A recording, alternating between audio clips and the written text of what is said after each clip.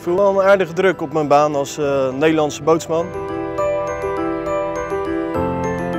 Vanaf 1 mei hebben wij een adviescentrum geïntroduceerd waarin we specifiek mensen begeleiden die bedreigd worden door werkloosheid of net in de WW zitten. FNV Nautilus die is ervoor om sowieso mensen die in de maritieme sector werkzaam zijn, om ze te helpen, juridisch ondersteunen. Wij vinden dat het nodig is omdat het UWV zijn dienstverlening beperkt tot, de, tot de computer alleen. En als je werkloos bent en alleen maar achter een computer contact hebt, dan is dat niet goed.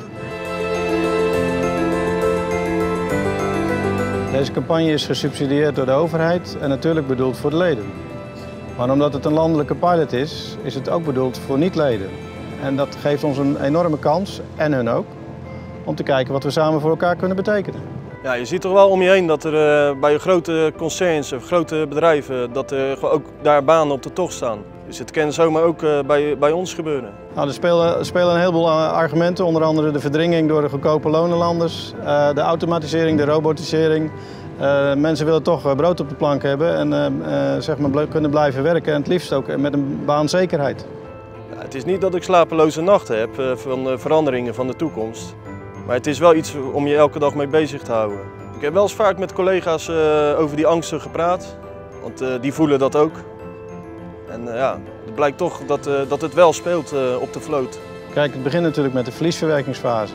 Dat kun je niet achter de computer doen. Dat, daar is het persoonlijke contact voor nodig. Daarna krijg je de oriëntatiefase.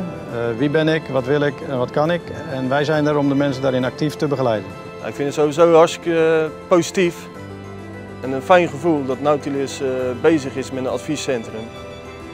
Dat ik in ieder geval ook, uh, ik hoop het niet, maar gebruik van kan maken in de toekomst. FNV Nautilus is ervoor om iedereen te helpen.